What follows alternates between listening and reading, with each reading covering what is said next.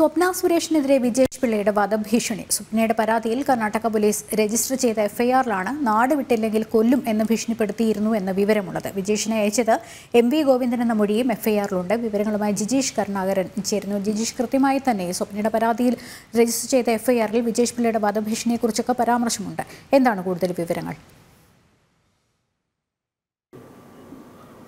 സ്വർണക്കടത്തും life mission കരാർ ക്രമക്കേട് കേസും അട്ടിമറിക്കാനുള്ള നീക്കങ്ങളുടെ ഭാഗമായി സ്വപ്ന സുരേഷിനെ സ്വാധീനിക്കാൻ ശ്രമിച്ച കേസിൽ നിർണായകമായ ചില നീക്കങ്ങളിലാണ് കർണാടക പോലീസ് ഇപ്പോൾ പ്രധാനമായും വിജേഷ് പിള്ളയ്ക്കെതിരെ കേസ് രജിസ്റ്റർ ചെയ്തിരിക്കുന്നു എഫ്ഐആർ രജിസ്റ്റർ ചെയ്തിരിക്കുന്നു. ഈ എഫ്ഐആറിലുള്ളതും സുപ്രധാനമായ വിവരങ്ങൾ തന്നെയാണ്. അതായത് സ്വപ്ന സുരേഷിനെ വധിക്കുമെന്ന ഭീഷണി വിജേഷ് പിള്ള നടത്തിയിട്ടുണ്ട് എന്ന് എഫ്ഐആറിൽ സൂചിപ്പിക്കുന്നുണ്ട്. മാത്രമല്ല സ്വപ്ന സുരേഷിനെ കള്ളക്കേസിൽ കൊടുക്കുന്നതിന് വേണ്ടി സ്വപ്ന ആ, കൊണ്ടുപോകുന്ന ബാഗിനുള്ളിൽ ബോംബ് വെച്ചതിന് ശേഷം അത്തരത്തിൽ കള്ളക്കേസ് രജിസ്റ്റർ ചെയ്യുന്നതിനുള്ള ഒരു സാഹചര്യം ഉണ്ടാക്കുമെന്ന ഭീഷണിയും വിജേഷ് പിള്ള നടത്തിയതായാണ് സ്വപ്നയുടെ കൂടി മൊഴിയുടെ അടിസ്ഥാനത്തിൽ തയ്യാറാക്കിയ എഫ്ഐആറിൽ സൂചിപ്പിക്കുന്നത്. അതുകൊണ്ട് തന്നെ ഈ കേസുമായി ബന്ധപ്പെട്ട് വളരെ ശക്തമായ ഒരു അന്വേഷണത്തിലേക്കാണ് കർണാടക പോലീസ് കടക്കുന്നത്. കൃഷ്ണരാജപുരം പോലീസ് പോലീസിലായിരുന്നു സ്വപ്ന സുരേഷ് കഴിഞ്ഞ ദിവസം പരാതി നൽകിയത്. മാത്രമല്ല സ്വപ്ന സുരേഷ് എഫ് പി പോസ്റ്റിലൂടെ നിർണായകമായ ഈ വെളിപ്പെടുത്തൽ നടത്തുന്നത് എഫ് പി പോസ്റ്റിലൂടെയായിരുന്നു. മുഖ്യമന്ത്രിയും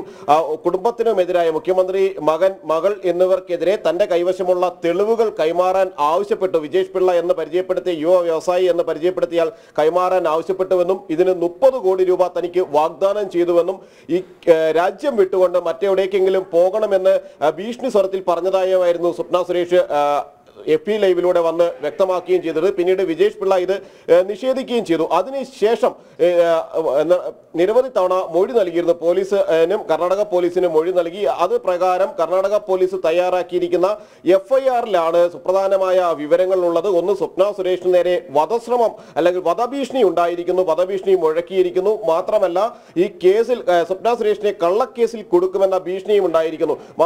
M V Govindan C P M സംസ്ഥാന സെക്രട്ടറി ആയിട്ടുള്ള എം വി ഗോവിന്ദന് വേണ്ടിയാണ് ഇത്തരത്തിലുള്ള ഒരു നീക്കങ്ങൾ ഇടനില ശ്രമങ്ങൾ താൻ നടത്തിയത് എന്ന് പറഞ്ഞ കാര്യവും ഈ എഫ്ഐആറിൽ കർണാടക പോലീസ് ബംഗളൂരു അന്വേഷണ സംഘം സൂചിപ്പിക്കുകയും ചെയ്യുന്നു. അതുകൊണ്ട് തന്നെ കേരളത്തിലേക്ക് കൂടി നീളുന്ന ഒരു അന്വേഷണത്തിലേക്ക് തന്നെയാണ് കാര്യങ്ങൾ പോകുന്നത്.